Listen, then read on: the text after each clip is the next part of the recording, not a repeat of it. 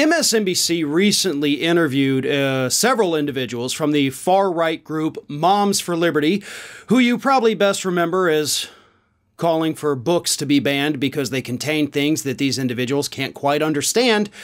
But one of these Moms for Liberty, by the name of Crystal Alonzo, who again spoke freely to MSNBC, suggested that LGBTQ youth in schools should be put aside in special classes.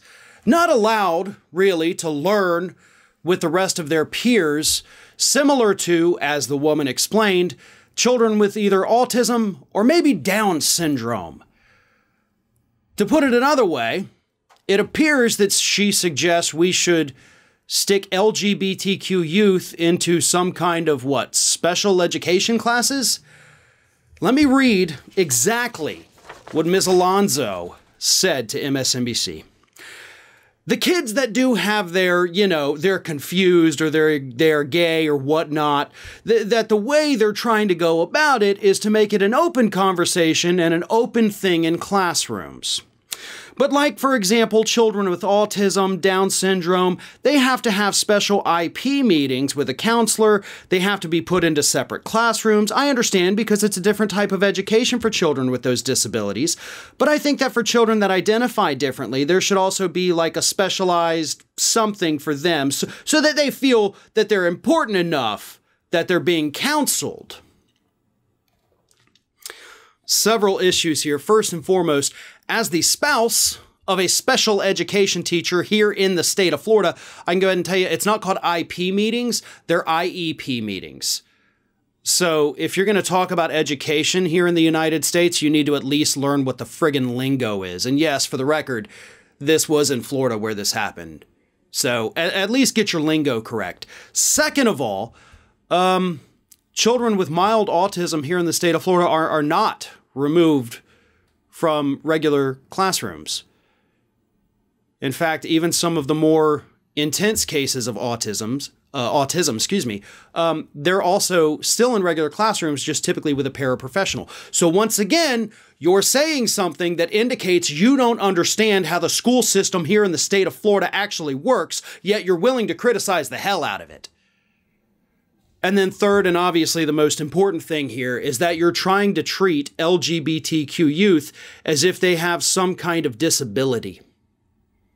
They don't. Being gay, being transgender, those are not deformities. Those are not genetic abnormalities. Those are not mental illnesses. Yet you want them to have a special time so they can go and talk to the counselor not because they need help being accepted by their peers, but what I can only imagine, and I'm assuming here, is that you want them to snap out of it, right? And in the meantime, until I guess they snap out of it, you want to keep them what? Separate but equal, right? You know you wanted to say that, so why didn't you just come out and say it? These are bigots, in my opinion. There was a time in the United States where we treated homosexuality, uh, being transgender, we treated those things as if they were mental illnesses. There were PSAs from the 40s and 50s, by the way, black and white PSAs describing the condition of homosexuality as a mental illness. They said these people are ill, they're sick. And I guess that's what these Moms for Liberty want to send us back to. And why not, right? I mean, Ron DeSantis is already sending the education system here in the state of Florida back to the 1940s. Why not go ahead and just do this too, huh? Let's make sure that we separate all these LGBTQ kids from the rest of the population. We don't want them having to mingle with these people, right? Because you think they're sick. Well, I think that you are the sick one. Hey everyone, this is Aspen. And did you know that for the low, low cost of $0 per day, you can subscribe to the Farron Balanced YouTube channel? We also encourage you to like, comment, and share, but again, click that subscribe button and help Aspen. Oh, not be so grumpy.